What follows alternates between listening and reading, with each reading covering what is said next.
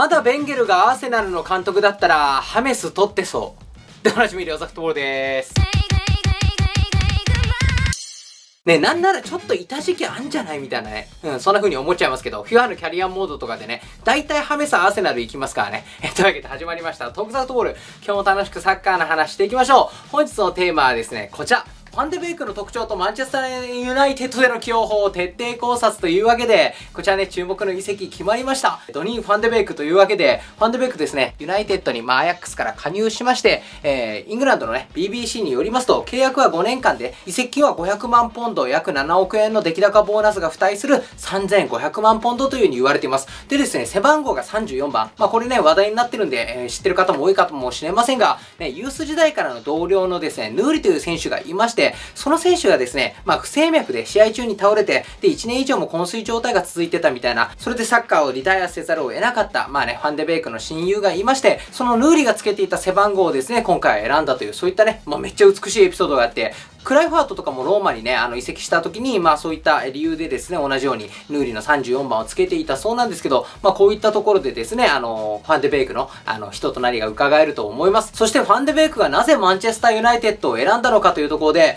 まず、えー、ファンデベイクのですね、元の所属先のアヤックスの CEO がですね、ファンデルサール、かつてのね、ユナイテッドのレジェンドゴールキーパーだったということで、その後押しがあったんじゃないかと。あとはですね、えっと、ブリント。今ね、アヤックスで主に左のセンターバックをやっていますけど、この選選手の後押しもあったんじゃないかっていう風に言われてますね。まあ、ブリントに関してはファンハールに呼ばれてきて、その後ね、もうモーリーニョ政権でどうしてもね、あの、フィジカルが強い空中戦とかバンバン弾き返してくれるみたいな、そういったセンターバックとかね、えっと、ボランチの選手必要になってきますから、なんでそういったところで不遇な扱いを受けてたイメージなんですけど、俺は不遇だったけど、お前結構フィジカルあるから大丈夫だよ、みたいな感じで、ファンデベイクの背中を押してあげたみたいなところあるかもしれません。あともう一つ面白いの出てきたのが、ファンデベイクの、えー、恋人の父親、なんとデニス・ベルカンプだそうなんですね。まあ、アーセナルのレジェンドですけど、えー、プレミアリーグでですね、まあ、あの、プレイするっていうことに対して、まあ、すごくね、メリットあるよっていう風に、えー、ファンデベイクのことを説得したみたいな、そういった記事がアスレチックの方に出てきましたので、ね、まあ、これはね、こじつけかもしれませんけれども、実際にそういったね、複数の理由っていうのがですね、あの、ファンデベイクの移籍に、えー、関わっているようです。あとですね、代理人のシャークスワルトさんという方が、アヤックスショータイムというですね、まあ、アヤックスの、えっ、ー、と、メディアですよね、持ってる。そこに出演した際にこういう風に語っています。マンチェスターユナイテッドは確かに正しい選択だ。えー、レアル・マドリー、バルセロナ、ユベントス、アーセナルなど、関心を持つクラブは他にもあった。全部で6つあったが、コロナウイルスが原因で全てが終わってしまった。彼がマドリーに行くことは3月にすでに決まっていた。しかし、ウイルスのため全てが延期された。クラブには収入がなく、選手を売ることができなかった。ね、こういう選手とか売りたかったんだと思いますけれども。で、他のですね、メディアの情報だと、トッテナムとかバルセロナがですね、ファンデビークに、え深刻な、え関心を示していたという風に、え出ているんですね。なんで全部で6クラブって言ってるんで、マドリー、バルサ、ユベントス、アーセナル、あとユナイテッドで、なんでね、トッテナムだけこの代理人の人はあの、アヤックスショータイムのところで言わなかったのかなというふうに思うんですけれども、ね、最終的にはですね、バルセロナとスパーズが、ね、連絡取り合ってたんですけれども、まあお金のところでね、えー、そういった都合がつかなかった。まあスパーズに関してはエンドンベレ売れなかったとかあるんですかね。バルサに関しては戦力外の選手をもう発表してるみたいな、ね、そういったずさんなマネジメントしてるんで、それは売れないだろう、金作れないだろうっていうね、まあそういったところがありますんで、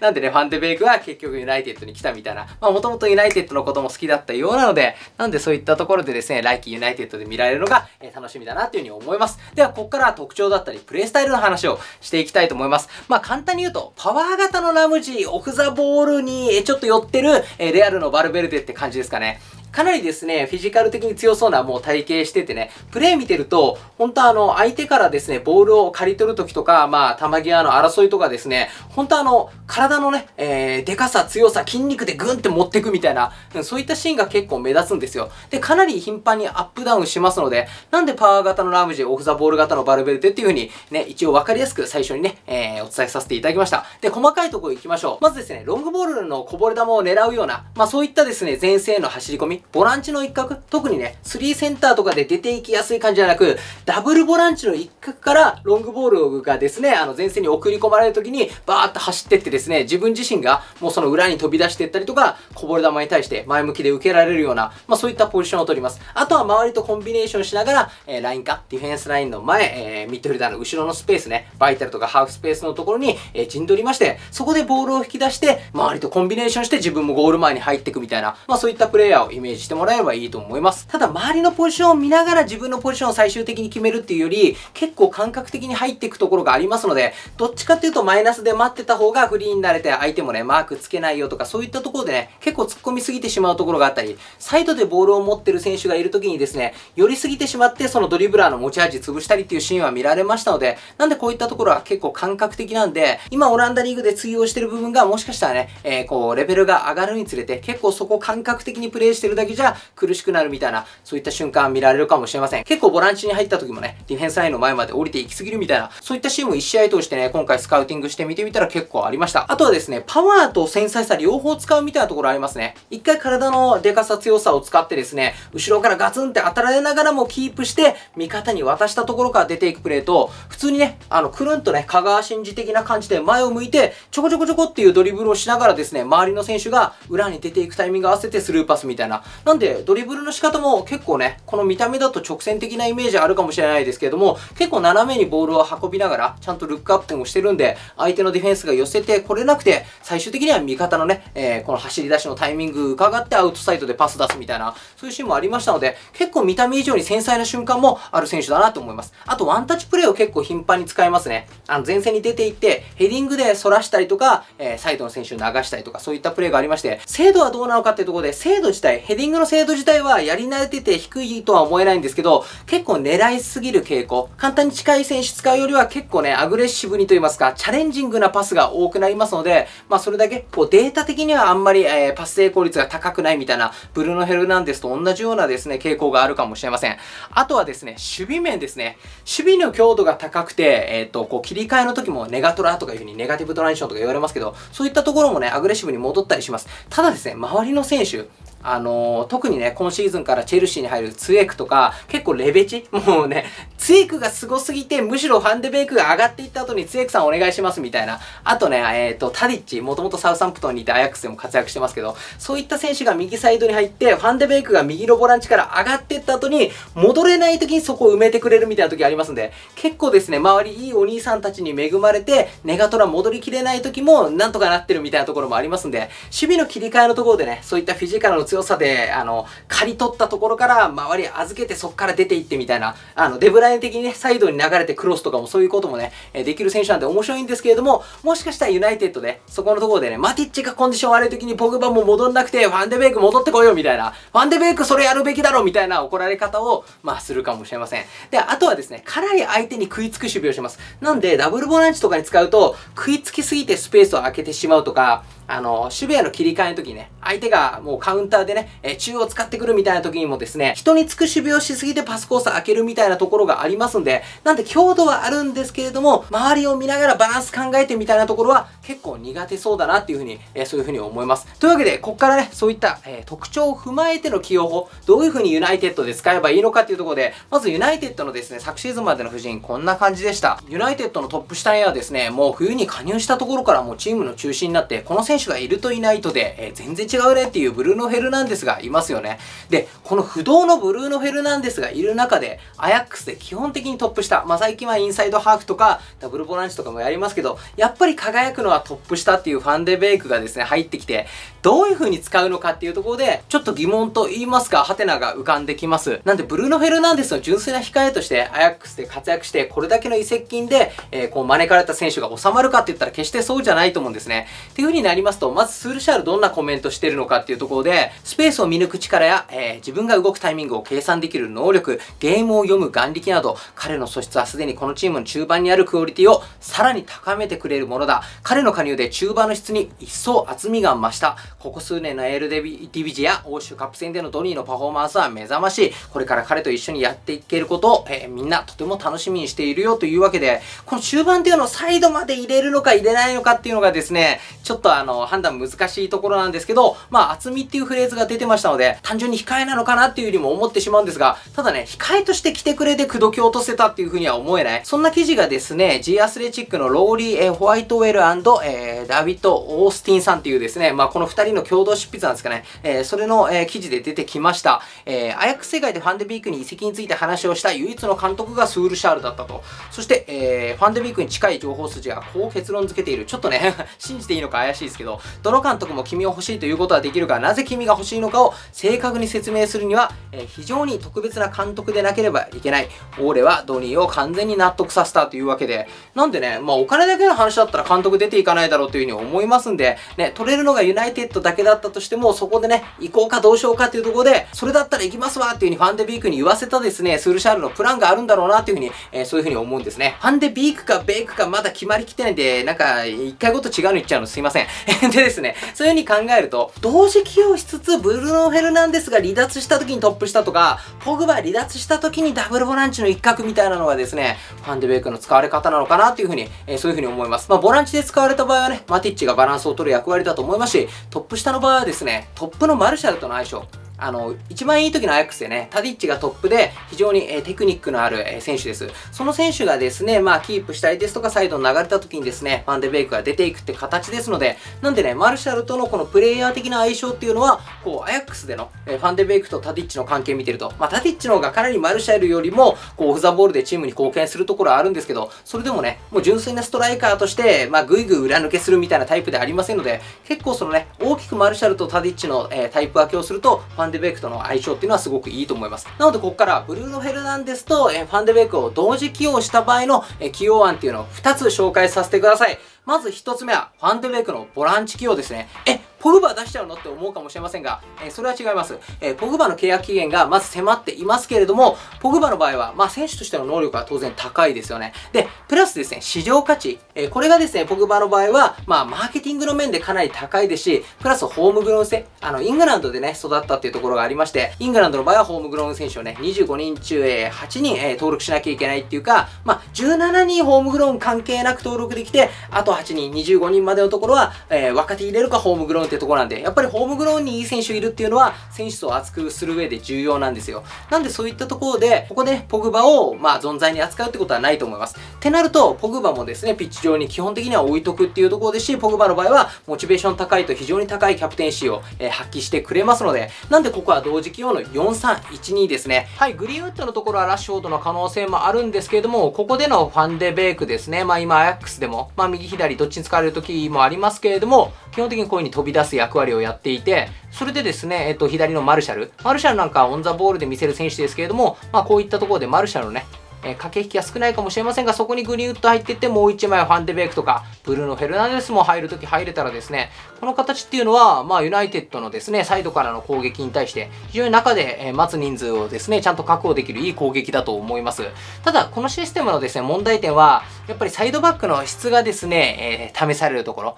あの、近年ですね、やっぱりこの4-3-1-2を使って成功したのがレアル・マドリードぐらいなんですよ。で、そこにはマルセロ・カルバハルがいるじゃないですか。ね。なんでそういう風に考えると、ウイングのように振る舞えて、なおかつ守備の時にはきちんとディフェンスできるサイドバック。マルセロのところ厳しいかもしれないですけど、それをカゼミロだったり、クロースだったり、えセルフィオ・ラモス全体でカバーしてる形っていうのもありました。なんでですね、ルーク・ショーの場合、まあこういった上がっていく運動量だったりですとか、そういったスピードはあると。あとは走り分けとかそういったところの、まああの、サッカー能っていうところが不安だったんですけど、ラッシュフォード使ってる場合は、まあマルシャルを一旦ラッシュフォードとしますけれども、この辺でふわふわポジショニング取られると、ルーク・ショーもね、ここの走り分けの判断難しくなったんですね。ただそういった選手がいなくて、前のレーンがっつり空いてる場合、ルーク・ショーはもう外張っておいて、きちんとね、状況に合わせて、高い位置で相手を広げる役割だったりですとか、マルシャルがね、流れてきてウイング的になったらですね、その外を走っていくみたいな、結構役割がシンプル化されるっていうのが、このシステムのいいところだと思います。で、その後ろに下がっていったポグバが、こういったところから長いレンジのパスを出せますので、この辺の適性も合ってるかなと。ポグバについていく中盤の選手がいたら、ブルーノ・フェルナンデスがライン間でこういう風にね、駆け引きして、縦のボールをこう引き出すことができると。で、右サイドなんですけれども、ファンデベイク、こういう動きだけじゃなくて、こっちも全然ある選手なんですね。なんでここ出てってクロスみたいなシーン、まあ両サイドであるんで、なんで結構ね、あのさっき言った、あのー、バルベルデ的だっていう風に言ったんですけど、こういう動きをできる選手だと、ワンビサカ、ワンピサカがずっと高い位置を取って、そこでですね、まあ、ちょっとずつクロスの精度は良くなってきたんですけれども、やっぱり攻撃力、クロスとかが武器になるタイプではないのは、まあ皆さんご存知だと思います。なんでそういう風になるとですね、ワンビサカを高い位置にいつも上げていくっていうより、基本的にはウォーカー的な役割をさせて、こういったところ、内外走り分けられる選手がいたら、守備でワンピサカのフィルター機能しますし、攻撃の時もですね、ファンデベイクの良さが生きる。ね、ファンデベイクが行った後にここ戻りきれてないみたいなところも、ワンビサカで対応ってことはできますので、なんで、あの、レアル・マドリードとは違う形でも、ちゃんとこのね、初期配置からの、こう、二次配置っていうところでですね、まあ、マンチェスター・ユナイテッドの選手がそういったね、自分自身の適材適所に、えっ、ー、と、行ける役割、えー、適材適所に置いてもらえる役割っていうのを、えー、このスールシャルが用意してくれるかどうかっていうのがですね、えこのシステムが成功するポイントだと思います。で、もう一つの同時起用案はですね、ブルーノ・ヘルナンデスのサイド起用ですね。え、ブルーのトップ下だからいいんじゃないのって思うかもしれませんけど、それはまあ初期配置だけの話です。サイドにブルーノ・フェルナンデスを置くことによって、まあ、ラッシュフォードの伸び悩みだったり、まあ、若手のグリーンウッドに負担をかけすぎないとかですね、あとは、えー、獲得が、えー、獲得交渉が難航している山頂。この山頂がもし取れなかった場合も、まあ、サイドにブルーノ・フェルナンデス使って、それがうまくいくんだったら、全然ましのげるじゃないですか。っていう風に考えた場合にですね、どんな働きをブルーノ・フェルナンデスに期待するのか。これね、もう勘の言い方ならお分かりだと思いますけど、エリクセン。エリクセンがブルーノ・フェルナンデスのロールモデルになります。スパーズ時代のエリクセン。まあね、えっと、記憶している方も多いと思いますけれども、サイドから入ってくることによって、トップ下だとずっとマーク疲れてるけど、サイドから入ってくると、相手のサイドバックどこまでついていこうかな。そしてデリアリとかが動き回りますから、それによって空いたスペースでボールを引き出すってやってたじゃないですか。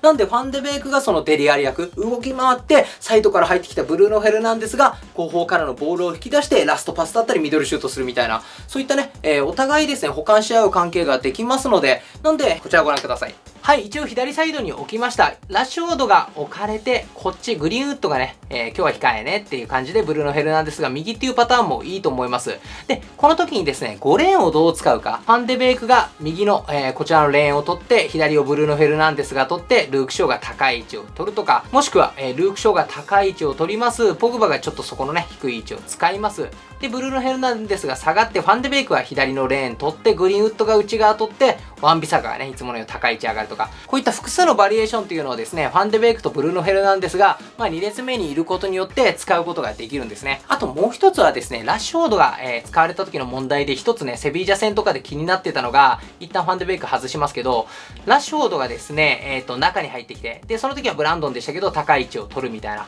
てなると5レーンこういう風に使うじゃないですか。なので、ブルーノ・ヘルナンデスがですね、結構ゴール前から離れていくっていう、ラッシュフォードがですね、わけ分かってない感じでこういったとこいてくれれば、むしろブルーノ・ヘルナンデス高い位置にいて、ね、後方はね、こういう形で3バック作るとかあるんですけど、結構ね、サイドバックが上がるタイプで、それでね、ラッシュオードが中入ってくるって形だと、ブルーノ・フェルナンデスが近いところで絡めないみたいなパターンもありますので、なんでファンデベイクの場合、こっから前に飛び出す頻度が本当に高い選手なんで、ファンデベイクはですね、トップ下に入って、え、グリーンウッド、そしてブルーノ・フェルナンデスがこういう関係で、で、ショーが高い位置取ってくるブルーノ・フェルナンデス、中に入ってくる。そしてグリーンウッドも中に入ってくる。その後ここ渋滞しますよって時に、ギュンってね、え前に出てくれますので、かなり前がかりに見えますけど、5バックとか崩すんだったら、この形っていうのをですね、えっ、ー、と、選手交代せずにですね、きちんと崩す形っていうのを、まあ、持っておけるっていうのは、非常に、え、大きな強みだと思います。で、これがですね、そんなに僕のですね、まあ、ただの希望じゃないかなっていうふうに思うのが、えっ、ー、と、マンチェスターイブニングニュース。まあ、マンチェスターの地元紙ですよね。この地元紙がですね、ブルーノ・フェルナンデス獲得前の報道で、4名の選手を、えー、スールシャールがですね、リストアップしてる、獲得を要望してるっていうふうに、えー、こう伝えていたんですね。その4名っていうのが、ロングスタッフ、ニューカッスルの中盤の選手ですね。そして、サンチョ。まあ、今も噂上がっています。で、エリクセン、リバラっていう、この4人だったんです。で、この4人がどういったですね、意図での獲得だったのか。ロングスタッフは、まず出ていたエレーラの後釜として、そして、サンチョに関しては、まあ、サイドのね、選手が欲しいっていうところだったと思うんですけど、ね、まあ、今も続いているお金の問題でダニエル・ジェームスになりましたと。そしてエリクセンとディバラ。どっちもね、普通に考えたらトップ下だったり、セカンドストライカー、そういったところに置くのかなっていうふうに、一見思いがちな選手じゃないですか。ただ、エリクセンに関しては、えー、スパー時代には、こうね、ウィングから中に入っていく役割でトップ下のような、えー、そういった振る舞いをしていたと。で、このエリクセン役をブルーノ・フェルナンデスで補ったとしたら、これね、残ったディバラ役、セカンドトップでコンビネーションしながら前に出てくとかテクニック見せるとか、1.5列目から得点に関わる役、誰だって言ったらファンデベイクじゃないですか。っていう風になりますと、もともとね、エリクセン取ろうとしてた、そのね、使おうとしてた意図に、ブルーノ・フェルナンデスを戻すみたいな。ね、もう1.5列目選手取れなくて、結果ね、ブルーノ・フェルナンデスもそこでハマってるんで、じゃあファンデベイク、えどう使うのって今なってますけど、もともとスールシャールのプランで、ね、サイドから中に入らせる役エリクセンで、で、こっから前出てったったり、後ろ下がったりの役割をディバラって考えたんなら、これをね、もうサイドから中入る役をブルーノ・フェルナンデス、出ていく役割、下がる役割を、えー、ファンデベックって考えると、めっちゃスポってハマりますんで、こういった同時期はあるのかなっていうふうに思いまして、今回紹介させていただきました。というわけでいかがだったでしょうか？面白い動画だと思ったら、いいね、コメント、チャンネル登録よろしくお願いします。レオゼットボーでした。